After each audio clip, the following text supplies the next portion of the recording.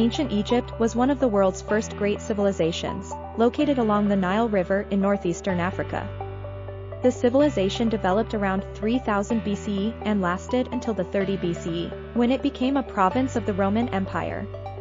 The history of ancient Egypt is divided into different periods, starting with the early dynastic period, c.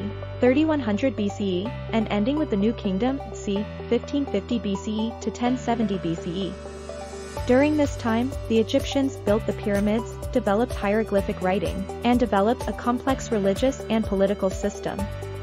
After the New Kingdom, Egypt was invaded by various foreign powers including the Persians, the Greeks, the Romans, the Arabs, and the Ottomans.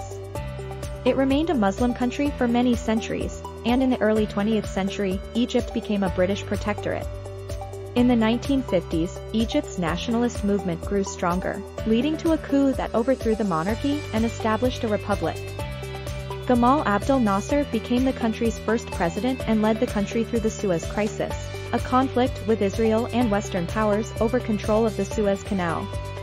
In the following years, Egypt saw periods of stability and unrest including the rule of Anwar Sadat and the assassination of Sadat by Islamist militants in 1981. In 2011, Egypt was part of the Arab Spring uprisings, which saw mass protests and the overthrow of President Hosni Mubarak.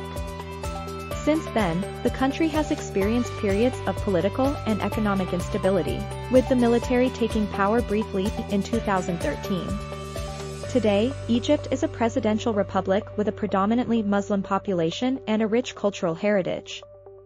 Thanks for watching, if you enjoyed this video please make sure to like, comment and subscribe to the channel.